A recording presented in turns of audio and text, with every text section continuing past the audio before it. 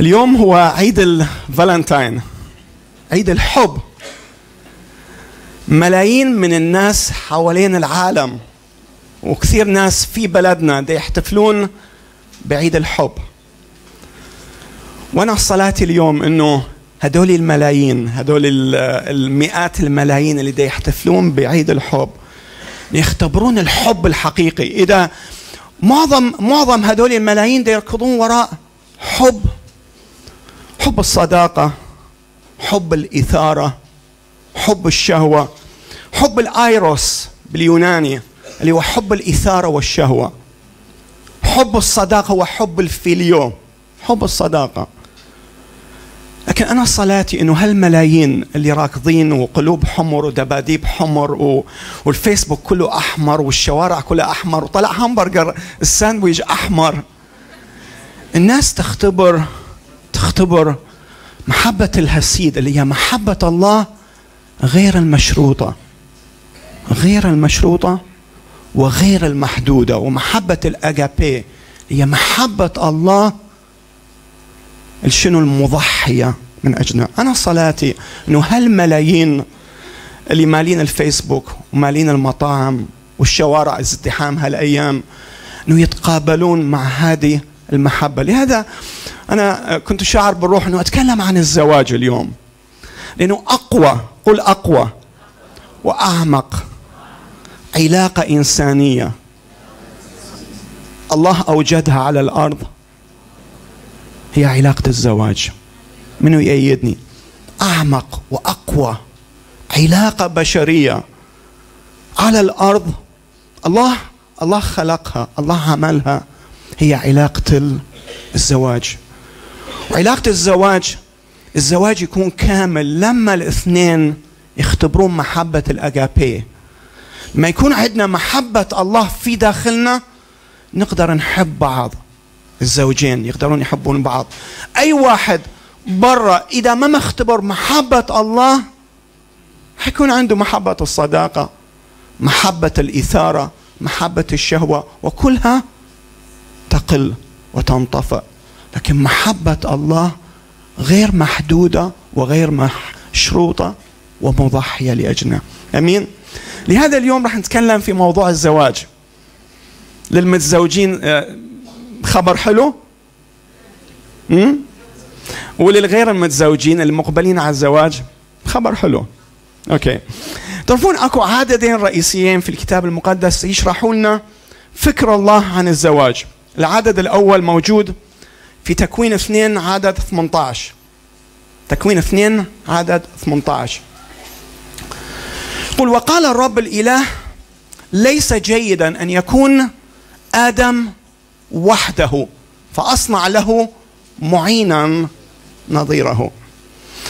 هذا العدد يشوفنا انه الله هو اللي أوجد الزواج. الفكرة كانت فكرة الله. قولوا الفكرة كانت فكرة الله.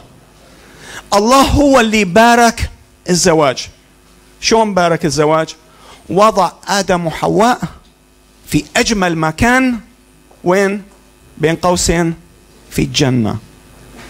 فالله بارك الزواج. وخلاهم اثنين مع بعض من دون ملابس تحت ضوء القمر. ماكو حموات.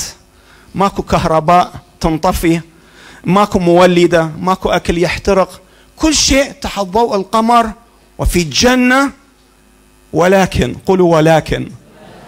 ولكن بشرط أنه آدم وحواء يكونون في علاقة حميمة مع الله. سووا هالشكل حميمة مع الله. إذا قصد الله للزواج أن يكون رائع قل رائع. قصد الله للزواج أن يكون جنة. للي متزعل ويا مرته اليوم اللي كان حرقت له الأكل. قصد الله للزواج أنه يكون جنة. مع هذا أنا وجدت أنه من أتعس الناس. هم مو الناس العزاب لكن هم الناس المتزوجين من الأشخاص الخطأ. واللي تحولت حياتهم من جنة إلى جحيم. طب ممكن كنت أفكر بالزواج. وشون إنه الزواج يشبه حساب في البنك؟ شو يشبه الزواج؟ عندك حساب في البنك. تعرف لما لما يكون عندك حساب في البنك وأنت تبدي تسحب من رصيدك تسحب من رصيدك وتبدي تسحب أكثر من رصيدك شو يصير عندك؟ يصير عندك مشكلة. البنك يصيحوك صح ولا لا؟ هكذا في الزواج. إذا كان كل اللي تتامله في الزواج إنه تاخذ. إذا كان كل اللي تتامله تاخذ. إنه بس تطلب لنفسك. إذا كان كل اللي تتوقعه من الزواج أنا أريد أنا أريد. وما تعطي ما تقدم للطرف الآخر. ما راح يمضي وقت طويل حتى تصفر الرصيد. مو رصيد الموبايل. رصيد الزواج يصفر. التاير شو يصير بينه؟ بنشر. وبذلك تبدأ مشاكل الزواج. والزواج يبدي يعاني من مطبات. أحبائي الزواج هو عطاء أكثر من الأخذ. قل الزواج هو عطاء أكثر من الأخذ. أمين؟ العدد الثاني اللي يوضح لنا فكر الله عن الزواج موجود في تكوين اثنين عدد 24 يعني لازم نحفظ العددين. تكوين اثنين 18 تكوين اثنين 24 تكوين اثنين 24 يقول لذلك يترك الرجل أباه وأمه ويلتصق بامرأته ويكونان جسدا واحدا. شطار حافظيها. كلمة يلتصق بامرأته باللغة الأصلية بالعبري تعني يتمسك بشيء وما يتركه أبدا. وكأنه شخص تخيل وياي شخص مطروح بالبحر ومتمسك بقطعة خشب وما ممكن يتركها لأنه إذا تركها شو يصير بينه؟ رح يغرق رح يموت. هذا معنى كلمة يلتصق باللغة الأصلية. إنه ماكو شيء ممكن يفصل الاثنين عن بعض إلا الموت. أحبائي الزواج هو عهد. الزواج هو شنو؟ معاقد. هو عهد. يقطع رجل وامرأة ويا منه ويا القاضي. لا. رجل وامرأة مع الله. ومع بعضهم البعض. وهذا العهد لا ينكسر. هذا العهد هو التزام حتى الموت. هذا العهد هو التزام في تحمل ظروف الحياة الصعبة معا. هو مشاركة تامة بين طرفين في كافة مجالات الحياة وحتى الموت. وقصد الله من هذا الزواج هو أنه يكمل كل من الطرفين الآخر. أنه كل طرف يكون معين نظير للآخر. أنه يلتصق الرجل بامرأته ويكونان جسدا واحدا. أحبائي مهم جدا أن نفهم أنه أنه مو الطلاق لكن الانفصال هو مو خيار عند المؤمنين. الانفصال مو خيار عند الناس المؤمنين في الزواج. أوكي؟ أنا أعتقد إنه حتى الانفصال الوقتي يعني حتى لما أنا أزعل وما أنام بالغرفة هذا كسر للعهد غلط. لأنه لأنه الشيء اللي يخلي الزواج يصير أقوى تعرفون شنو؟ إنه رغم الخلافات الطرفين يبقون مع بعض يعملون باجتهاد حتى يحلون مشاكلهم. بالحقيقة الزواج يصير أقوى لما يواجه مشاكل ويقدر يجتازها. الزواج يصير أقوى لما الزواج يواجه مشاكل ويقدرون مع بعض يجتازوها. لكن لما تزعلين لما تقولين راح أروح بيت أهلي عدو الخير الشيطان شو يسوي؟ يعمق يزيد المشكلة. أحبائي أريد أقول لكم لازم نتعلم النقاش إذا أردنا للزواج أن ينجح. وياي؟ لازم نتعلم نتناقش. كثير من الناس ما تعرف تتناقش بطريقة صحيحة نصيحة أخوية. أريد أقدمها للأزواج. الأزواج وين الأزواج يرفعون ايديهم الأزواج مو الزوجات. لما تتناقش ناقش موضوع واحد فقط. إذا تتناقش في موضوع الطبخ والأكل محروق لا تدخل أمك وحماتك بالموضوع. أوكي؟ يعني أمي تطبخ أحسن من أمك وأمي لا تدخل أمك وحماتك في الموضوع. نصيحة للأخوات. نصيحة للاخوات أخوات يرفعون يدين من الزوجات. إذا تناقشين ويا زوجك إنه لازم ياخذ شاور قبل ما يدخل الفراش. لا تدخلين أبونا بالموضوع. أبوك كان هيك أبوي كان نظيف. لا تدخلون ناقش في موضوع واحد فقط. احبائي الكتاب أوصانا أن نكون لطيفين تجاه بعض.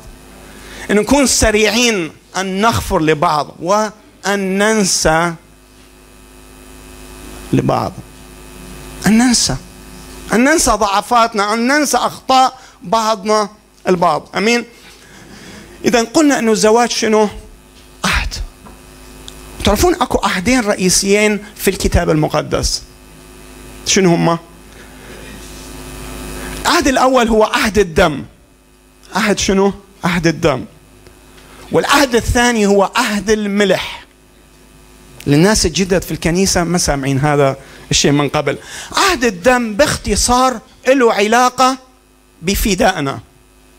قولوا عهد الدم له علاقة بفدائنا. نحن مخلصين بدم الرب يسوع وأول بداية لعهد الدم الله عمله مع البشر لما الله شاف آدم وحواء أخطأوا. سوى الله أخذ حيوان ذبحه سلخ جلده وأخذ الجلد وغطى آدم وحواء. هذه هذه عهد الدم. هذا أول عهد للدم مع آدم وحواء.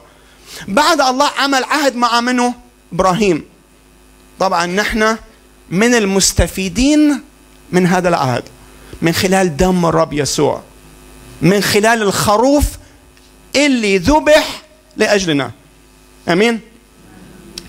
تعرفون بالزمانات بأفريقيا مثلا. لما اثنين كانوا يدخلون في عهد مع بعض. Okay? تعرفون إيش كانوا يسوون؟ كان الاثنين اثنين يريدون ياخذون عهد حتى الموت. يكونون امينين ويدافعون عن بعض. كانوا يجرحون ايدهم بسكين. Okay? يجرحون ايدهم بسكين. وبعدين الاثنين يجيبون كاسة. ويخلون إيدهم تنزف بالكاسة.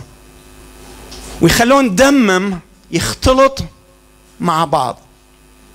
بعدين يسوون شيء غريب جدا. كانوا يشربون هذا الدم. في علامة أنه نحن اتحدنا ببعض. ونحن راح ندافع عن بعض حتى الموت. أيضا عهد الدم نشوفه في العشاء الأخير لما الرب يسوع قال لتلاميذه قال هذا الخبز يرمز إلى شنو؟ إلى جسدي. وهذه الكأس ترمز إلى شنو؟ إلى دمي. ويسوع كان ده يعني إنه أنا داخل وياكم في علاقة عهد. وعهد الدم هذا يعني إنه كل ما هو لي هو لكم. لكن هو بالمقابل قال أنا دا أتوقع بالمقابل إذا أطلب من عندكم أي شيء أنا أتوقع أن تعطوني إياه مهما كان الثمن. آمين؟ لكن أيضا عهد الدم نشوفه يظهر بشكل رائع جدا في الزواج. لاحظوا الله خطط الزواج أن يكون رجل واحد مع امرأة واحدة مدى الحياة بمعنى أنه الطرفين ما يدخلون في أي علاقة حميمة مع أي شخص آخر. صح؟ هذا زواجنا المسيحي. رجل واحد امرأة واحد زواج حتى الموت. فالعريس بعد الاحتفال بالعرس كان يدخل على عروسه. واللي يصير انه إنه الزوجة العذراء من خلال العلاقة الحميمة راح تنزف. وهذا كان راح يولد عهد دم. وفي القديم العادة كانت إنه العريس ياخذ الشرشف المغطى بالدم واللي هو رمز للعهد بين العروسين ويروح من الشباك ويلوح بالشرشف المغطى بالدم. معلنا إنه عهد الدم قد قطع. إنه أنا لها. إنه هي لي للأبد. إنه نحن دخلنا في عهد دم معا حتى الموت. سامعين هذا من قبل؟ العهد الأول هو عهد الدم. ويتكلم عن الفداء. لكن العهد الثاني هو عهد الملح. وعهد الملح يتكلم عن المسؤولية. يتكلم عن شنو؟ عن المسؤولية. في سفر اللاوين اصحاح 2 عدد 13 الله قال لهارون كل ذبيحة تقدمها تأكد أنك رشيتها بملح. كل ذبيحة تقدمها تأكد أنك رشيتها بملح. موجود أكو ملح. هاي الشوشة في العهد الجديد الرب يسوع أشار إلى عهد الملح. في مرقس تسعة قال كل ذبيحة أيضا عاد نفس الكلام لازم تملح بملح. بعدين قال ليكن لكم في أنفسكم ملح. في إنجيل متى الرب يسوع قال أنتم ملح الأرض ولكن إن فسد الملح فبماذا يملح؟ يبدو الكلام غريب. لكن إذا بحثنا في الموضوع أكثر نشوف أنه كان أكو شيء في القديم اسمه عهد الملح. بالكتاب موجود عهد الملح. دوروا وقولوا لي وين. عهد الملح كان إنه لما يكون أكو طرفين يريدون يعملون اتفاق طرفين يريدون يعملون اتفاق ما أو زواج. كانوا يتفقون واحد من الطرفين شي يجيب ويانه؟ يجيب ويانه خبز. يحط الخبز. والطرف الثاني شي يجيب ويانه؟ ملح. وبعدين شي يسوي؟ يجي يرش الملح على الخبز. وبعدين شي يسوون؟ كانوا ياكلون مع بعض. الخبز المملح. في إشارة في علامة على أنه الاتفاق قد تم. هذه الأيام عندنا قال لك آه، ماكلين خبز وملح مع بعض. قال لك ما خونك آه، آه، ماكل ببيتك. جاية من هذا. ما دام عاملين اتفاق أكو مسؤولية. واليوم نحن نعرف إنه الخبز يرمز للرب يسوع. أمين؟ خبز يرمز لجسد الرب يسوع المكسور لأجلنا. الخبز هو الذبيحة يسوع الذبيحة اللي ذبحت من أجلنا. رب يقول هذا جسدي أنا أخلينه على المائدة. ورب يريد من عندنا أن نملح الذبيحة. إنه نجيب الملح بس مو هذا الملح لكن منو الملح؟ نحن. قال أنتم ملح الأرض. نجيب الملح اللي هو ملح التكريس ملح الحياة المقدسة أمام الله. الخبز موجود صح؟ لكن الله يقول أنا أريدكم تجيبون الملح. أنا أريدكم تملحون ما أنا أوفر بتكريس حياتكم بحياتكم النقية بأياديكم النقية بقلوبكم الطاهرة. أمين؟ اذا أول شيء نشوفه في عهد الملح إنه عهد الملح هو عهد للنقاوة. قل له ليمك قل له عهد الملح هو عهد للنقاوة. قول للشخص اللي يمك حتى يحفظه.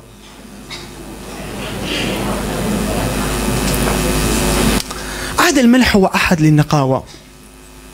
وأنا أصلي اليوم إنه نفهم هذا الكلام. الله وفر لنا الخبز اللي هو الرب يسوع بنعمته. صح؟ الله انطانا يسوع بالنعمة. أمين؟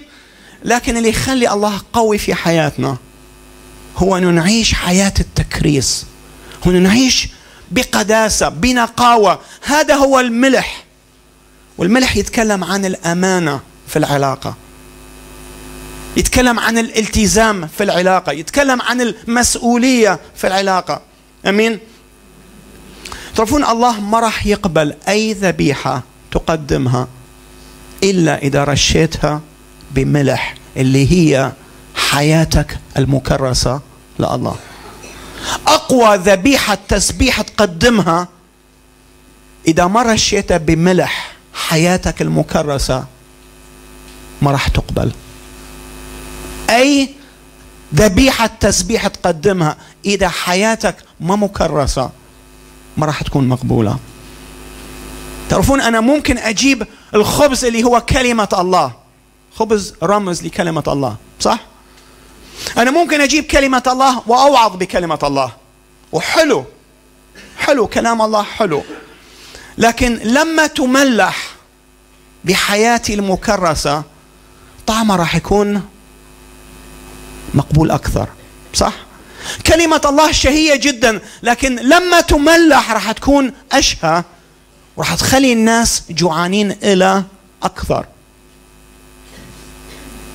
تعرفون كنت بدي أفكر الخبز طعمه طيب صح؟ خبز حار طعمه طيب لكن الملح يعطي نكهه للخبز. يعني إذا خبز ما بينه ملح طيب الملح يعطي نكهة الخبز. الملح هو يعطي الأكل نكهة طيبة. يسوع هو خبز الحياة. لكن اللي يخلي الناس تيجي وتطلب يسوع منه لما نحن كهنة الرب نرش الملح اللي هو حياتنا المكرسة لله.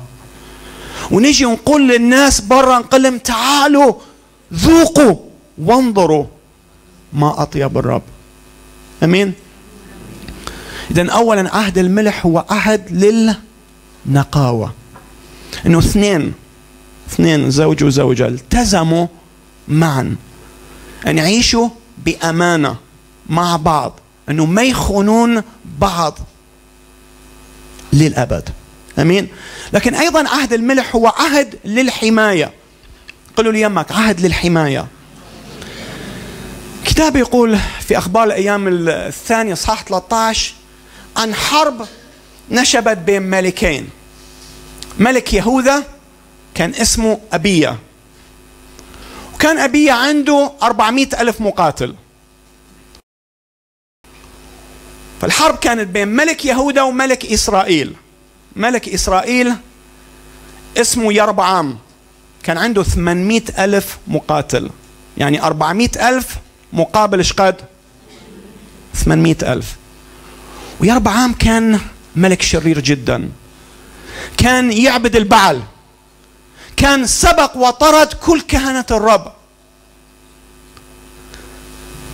ويربعام ظن إنه بهذا الجيش الكبير يقدر يغلب ملك ابيا لكن ابيا قال ليربعام قال له هذا الكلام. قال له أنت تعتقد أنه بجيشك الكبير تقدر تفوز علي؟ أنا أحذرك. ليش تحذرني؟ قال له لأنه أنا داخل في عهد ملح مع الرب إلهي. فأنت لو حاربتني أنت كأنه ده تحارب الرب. أنت ما راح تقدر تحارب الرب. أنت مدى تفهم؟ أنه بال 800 ألف أنت ما عندك فرصة أنه تفوز عليه يعني مو يمكن انت ما عندك فرصة انه تفوز. وأحبائي أنا أعتقد إنه إنه نحن عايشين في وقت مثل وقت ابيه ويربعام نحن عايشين في وقت تحت ضغوط وحروب من الشيطان. لكن اليوم إذا دخلت في عهد ملح مع رب إلهك رب راح يقول لك أنا راح أحارب كل حروبك. أنا راح أهزم كل أعدائك. أنا راح أقف أمام كل أعدائك وانتهرهم من أمامك. آمين؟ طبعا لأنه أبية كان داخل في عهد ملح مع الرب انتصر في الحرب. وهزم يربعام كتاب يقول هزيمة عظيمة انقتل من جيشه نصف مليون خمسمائة ألف انقتلوا في الحرب. تعرف ليش اليوم أنت مرات تعيش مهزوم؟ يمكن أنت مؤمن بس مرات عايش مهزوم. لأنه ما عندك ملح في حياتك. أنت كل اللي عندك نعمة الله اللي خلصتك يمكن من جهنم. هي إذا أنت مخلص. مرات أنت مؤمن بس مهزوم مهزوم مهزوم مهزوم. لأنه ما عندك ملح. أنت بس عندك نعمة على حد أنه تخلص. لكن خليني أقول لك إذا ما عندك ملح في حياتك أنت راح تهزم مرات ومرات ومرات. لكن إذا تريد تعيش حياة فيها انتصارات لازم تخلي بعض المعايير في حياتك. قول خلي بعض المعايير في حياتك. تحتاج إنه تعيش في قداسة. تحتاج إنه تخلي مخافة الله في داخل قلبك. قولوا آمين. لوط منو يعرف لوط؟ منو يعرف لوط؟ لوط كان عنده خبز بس ما كان عنده ملح صح؟ لوط كان مؤمن صح؟ أريد أسمع. لوط كان مؤمن؟ هم؟ نص ونص؟ لوط كان مؤمن. كتاب يقول كان مؤمن. بس الكتاب يقول كان يعذب نفسه بالأفعال الأثيمة. لوط كان عايش في مكان شرير في سدوم وعموره كان يسمع من جيرانه أغاني. شكو أغاني بالأعراس هاي؟ الطم طر شكو منو ينطيني اسم أغنية؟ كلنا مؤمنين. ما نسمع أغاني؟ كان يسمع من جيرانه. قلب قلب وين؟ كان يتفرج مناظر الخلاعة. في المدينة. لما حاول لوط أن يقنع عائلته بالخروج من المدينة لأنه دينونة الله راح تيجي يقول الكتاب كان شنو؟ كان كمازح في عيونهم. يعني ضحكوا علينا. لما قال دينونة الله راح تيجي على سدوم وعمورة خلينا نطلع. دي روح. متونسين ليش؟ ليش ضحكوا علينا تعرفون ليش؟ هو كان مؤمن بس ليش ضحكوا علينا لأنه كان عايش مثلهم. لأنه ما كان عنده ملح في شهادته. تعرفون ليش الله قرر أنه يهلك سدوم وعمورة؟ الله أهلك سدوم وعمورة لأنه ما كان ملاقي عشر أشخاص أبرار في المدينة. لأنه الله ما وجد في, الكن في المدينة في سدوم وعمورة كنيسة فيها ملح. كل اللي وجدوا كنيسة تقدم إنجيل حلو هادئ. كل اللي وجدوا الله كنيسة لا تتوب ولا تعيش صح. وكلنا نعرف قصة لوط. لما هرب هو وزوجته وبناته من المدينة وزوجة لوط كانت محبة للعالم أكثر من محبتها لله. لما نظرت إلى الوراء تحولت إلى عمود ملح. تحولت إلى الشيء اللي رفضت أن تكونوا. انتبهوا وياي. ليش تحولت إلى إلى عمود ملح؟ تحولت إلى الشيء اللي رفضت أن تكونوا. الله كان ممكن يحولها إلى صخرة؟ كان ممكن؟ كان ممكن. بس الله حولها إلى عمود ملح لأنه الله كان يريد يترك أثر على الأرض يذكرنا بالشيء اللي يريدنا أن نكونه. واضح؟ وكأنه الله ده يقول لنا اليوم أنه أنا ما أحتاجه. في مدينة بغداد مؤمنين عندهم ملح. أنا ما أريد مؤمنين مثل جماعة لوط. أنا أريد مؤمنين حياتهم حياة مكرسة إليه لأنه كل ذبيحة تقدمها لله يجب أن تملح بملح.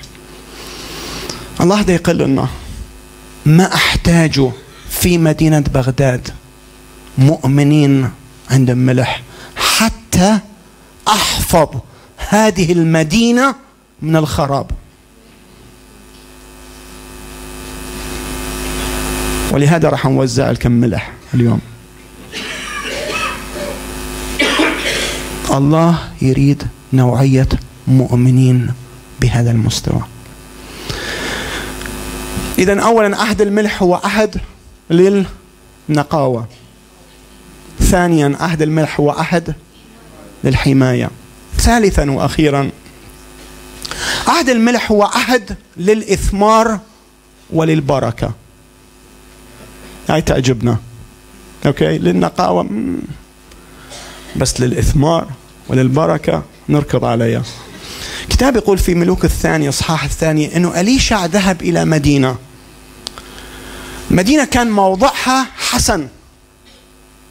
لكن المياه كانت رديه والأرض كانت مجذبة يعني جرداء يعني بلا ثمر.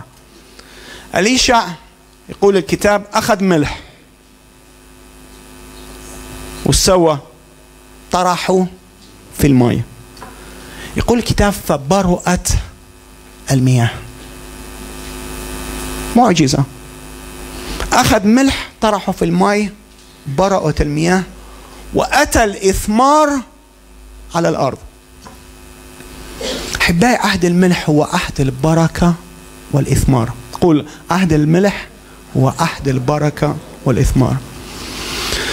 اليوم إذا أنت مدى تشوف ثمر في حياتك اليوم إذا أنت مدى تشوف بركة الله على حياتك اليوم إذا حياتك عبارة عن علاقات مكسورة اليوم إذا حياتك عبارة عن خسارات خسارات خسارات سلب سلب سلب. يمكن تحتاج أنه ترجع لله وتسلم أمورك له. يمكن تحتاج أن تدخل في عهد ملح مع الرب إلهك. يمكن تحتاج أن تدخل في عهد ملح مع شريك حياتك. قولوا أمين. تعرف أنه أنت ما تقدر تعيش من دون ملح. م? لما تروح المستشفى وحالتك يعني حالة أول شيء يدخلوك يخلوا لك مغذي ماء وملح.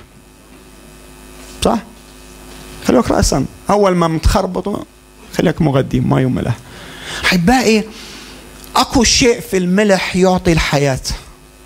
واليوم يمكن البعض منكم ميت روحيا. لأنه ماكو تكريس في حياته. أكو صورة التقوى موجود في الكنيسة لكنه عايش برا مثل العالم. لكن الرب ده يقول لك إذا دخلت في عهد ملح معي أنا يقول الرب راح استرد حياتك. أنا راح أعوضك عن كل اللي فات أضعاف. أنا راح استرد كل ما سلبه العدو من حياتك. أنا راح استرد زواجك. أنا راح أحررك من قيودك. وأنا أهم شيء راح أبارك حياتك من يقول أمين. أنا خلصته أنا أريد أطلب من التشريفات وينهم؟ تشريفات وينهم؟ أوكي أريد تجون يوسف وينه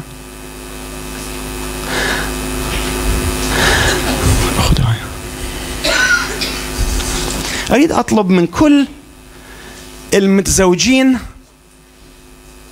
المتزوجين الموجودين زوج وزوجة معا يوقفون. كل المتزوجين زوج مع زوجة يوقفون. يعني إذا زوجتك موجودة يمك أو إذا مو يمك اقتربوا وقفوا مع بعض. إذا زوج وزوجة بس يوقفون مع بعض. أمين. أمين. Okay. Okay راح أطلب من كل الشباب والشابات المقبلين على الزواج 18 فأكثر يوقفون. الما متزوجين. فقط الشباب والشابات الما متزوجين يوقفون. ممكن نوزع ممكن نوزع. زوجة ياخذون كيس وعلبتين. Okay. أريد أطلب من هالة إنه تيجي لي عندي. هالة. أشكر الله من أجل هالة. صارنا 30 سنة متزوجين. زوجة كل واحد ياخذ ملح. كل واحد منكم ياخذ ملح. Okay. Okay. حنسوي رح نسوي عهد بيناتنا. Okay. خلينا نفتح العلبة. نسمي هذا. اللي راح نسوينه هسه أول شيء الزوجة تفتح العلبة. وتخلي الملح في الكيس.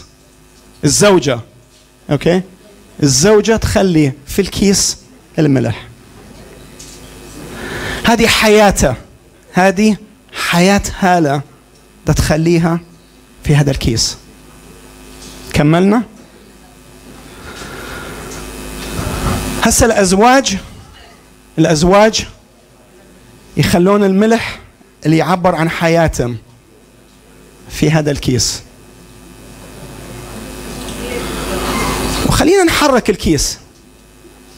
خلينا نحرك الكيس. Okay. حبات الملح اختلطت زين؟ ها؟ الهدف ده نحرك حتى تختلط زين. بحيث ما ممكن فصلها عن بعض. Okay?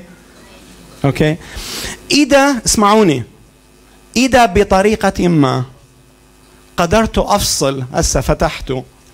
إذا بطريقة ما قدرت أفصل حبات الملح مالي عن حبات الملح الخاصة بهالة عندها فقط راح أقدر أكسر العهد بيناتنا. قولوا أمين. يعني ما ينكسر أبدا. الزواج هو اتحاد حتى الموت. فما جمعه الله لا يفرقه إنسان. أريد هالهولة من ام قصي. انت مو بالزواج. هذا هو الزواج المسيحي. نحن ما نقدر نتعب من بعض. نحن ما نقدر نختلف عن بعض ونترك بعض. أنا ما أقدر آخذ حبات الملح مالي اسمعوا ازواج أنا ما أقدر آخذ حبات الملح مالي واذبها على غير امرأة. أنا لازم أحتفظ بالملح مالي. بس لهالة أمين. الزواج هو التزام. الزواج هو التزام. هو عهد. إنه مهما كانت خلينا نقول مهما كانت الظروف جيدة أو سيئة في الصحة أو في المرض؟ في الغنى أو في الفقر؟ راح نكمل مع بعض. آمين.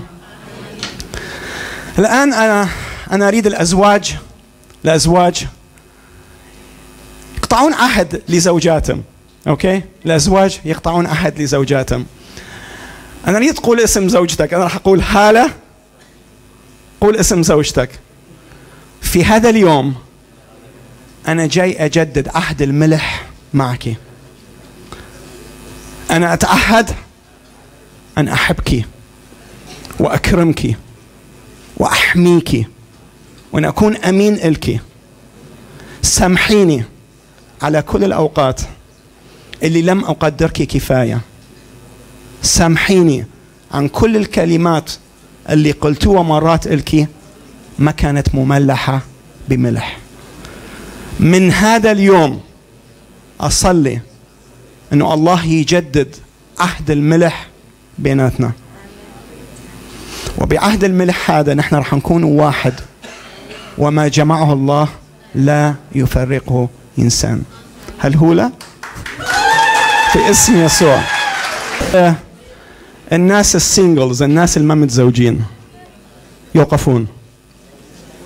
خلي المتزوجين يوقفون خلي بس بس خلينا خلي الناس اللي ما متزوجين لو انت بعدك ما متزوج امسك امسك الشوشه ارفعها ارفعها أريد أقول لك كلمة من الرب. خذها كلمة من الرب. حافظ على نفسك نقي. حافظ على نفسك طاهر. حافظ على نفسك مقدس. تقي. تعرفون لما لما الإنسان ما يكون متزوج ويمارس علاقة حميمة مع شخص آخر الكتاب يقول يكون الاثنان جسد واحد. يعني لما تزني أنت تكون مع هذا الشخص جسد واحد ما تقدر تنفصل عنه. لذلك أقول لك احفظ نفسك طاهر مقدس نقي. لهذا هذا الملح ما راح تفتحه إلى يوم زواجك. أوكي؟ خليه خليك متذكره. خلينه بالكوميدية مراسك إنه أنا راح أحفظ نفسي مقدس لغاية اليوم اللي الرب يشوف لي شريك الحياة. آمين؟ خلينا نصلي. يا رب يا رب أنا أصلي انه تساعد يا رب الإخوة والأخوات اللي ما متزوجين يا رب. ساعدهم يا رب انه يعيشون مقدسين. ساعدهم يا رب يعيشون يا رب طاهرين يا رب. يمكن أصدقائك يضحكون عليك يمكن صديقاتك يضحكون ويستهزئون بك لكن إذا كان عندك ملح كافي إذا كان عندك ملح كافي أصدقائك وصديقاتك راح يكونوا عطشانين للملح اللي عندك. يا رب نحتاج جيل مسيحي مملح يا رب. يا رب أعطينا هذا الجيل في هذه الكنيسة. هللويا. خلينا نصلي من أجل الأزواج. خلينا نصلي من أجل خلينا الأزواج يمسكون إيدين بعض. خلينا الأزواج يمسكون إيدين بعض. هاليلويا يا رب أنا اصلي يا رب. من أجل يا رب كل زواج يا رب كل زواج ماثل في هذا المكان يا رب. يا رب أنا أصلي يا رب إنه أنت تبارك كل بيت في اسم رب يسوع في اسم رب يسوع. أنا أريد الأزواج كلهم حتى لو كان شخص واحد يعني زوج أو زوجة. خلينا نقف مع بعض خلينا نقف مع بعض. يا رب أنا أصلي إنك أنت تبارك كل بيت ماثل في هذا المكان. أنا أصلي يا رب من أجل كل زواج موجود في هذا المكان. أنا أصلي يا رب باسترداد لكل علاقة مكسورة في هذا المكان في اسم الرب يسوع. أصلي باسترداد للعلاقة المكسورة. باسترداد استرداد استرداد. أصلي يا رب انه قوتك قوة الروح القدس تنسكب يا رب على كل بيت. صلي يا رب إنه تعمل أمور عظيمة. صلي يا رب انه غفران يسري في هذا المكان. غفران يسري في هذا المكان. صلي إنه تيجي وتشيل كل مرارة. تيجي يا رب تشيل يا رب كل كل جرح موجود في القلب يا رب. صلي يا رب إنه تيجي وتعمل عمليات وإصلاح للعلاقات الخربانة يا رب. انت قادر لو لو لو أنت عندك علاقة مكسورة مع شريك حياتك لو عندك مشكلة معينة هو وحده قادر أن يصلح كل العلاقات هو يجبر الكسور ويشفي الجراحات. لو كان زواجك مثل جحيم أنت قادر أنه تخلينه بين إيد الرب يحوله إلى جنة. يا رب مد إيدك مد إيدك مد إيدك بحياة بدل الموت.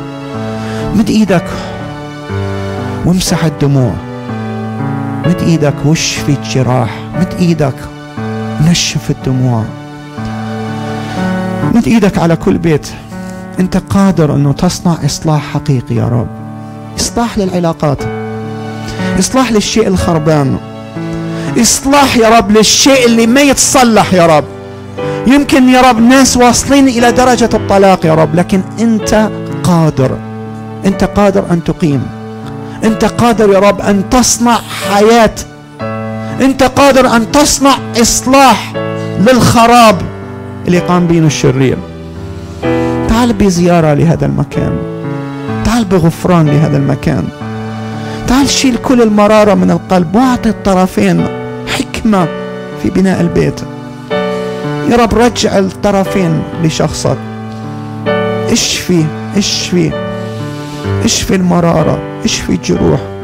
طيب القلوب. اغمر يا رب بأمر جديد يا رب. اصنع أمر جديد في هذا المكان. تعال يا رب باسترداد للعلاقة. تعال يا رب بزمن تعويضات. أنت قادر انه تأتي بزمن تعويضات. يا رب نفس القوة اللي أقامتك من بين الأموات. قوة روح القدس. تعال بقيامة. تعال بقيامة على الزواج هذا. تعال يا رب بقيامة. تعال بحياة. تعال ببركة. تعال بإثمار. يا رب الأرض يا رب مو, مو زينة مجدبة. أنت قادر تصلح الأرض تجعلها أرض جيدة. أنت قادر أنه تجي بإبراء للمياه. أنت قادر أن تأتي ببركة وإثمار. يا رب الناس المحتاجين حماية يا رب. أنا أصلي حماية دمك على كل شخص في هذا المكان. يا رب أنا أصلي يا رب بركة يا رب على كل بيت يا رب. بارك بارك بارك. بيوت مليانة عقم يا رب. أنت قادر أن تأتي بالثمر حياة حياة. أكو عقم في الشغل أكو عقم في العلاقة المحبة بين الطرفين حياة حياة حياة بدل العقم حياة حياة. الرب يريد يبارك الرب يريد يبارك. الرب يريد انه يثمر الرب يريد انه يلمس الأرحام. شفاء وحياة. العقم يزول والثمر يأتي والبركة تأتي البركة تأتي البركة تأتي البركة تأتي. يا رب أنت تلمس يا رب تلمس يا رب وتبارك. وتبارك يا رب. يا رب نصلي يا رب إنه تجي بإبراء يا رب لأراضينا يا رب. يا رب نتوب يا رب عن كل يا رب خطايا في حياتنا يا رب. توب يا رب عن كل ميراث رديء يا رب. موجود من الآباء من الأجداد يا رب. يا رب نرفع يا رب ونكسر كل لعنات موجودة في هذا المكان في اسم الرب يسوع. كل لعنات تكسر كل لعنات في اسم الرب يسوع نربط الشرير خارجا ونعلن حل لعوائل مربوطة من الشرير في اسم الرب يسوع. حرية حرية حرية من كل قيود من كل ربط من كل لعنات في اسم الرب يسوع. استقبل حريتك من الرب. قل يا رب أنا حر. أشكرك لأنك حررتني. أشكرك لأنك شفيتني. أشكرك لأنك باركتني. أشكرك لأنه قصدك لي حياة وإثمار. ومجد. نتوب عن كل خطايا. تعال يا رب. تعال يا رب بمخافتك على حياتنا. تعال يا رب قدس حياتنا. تعال يا رب قدس حياتنا.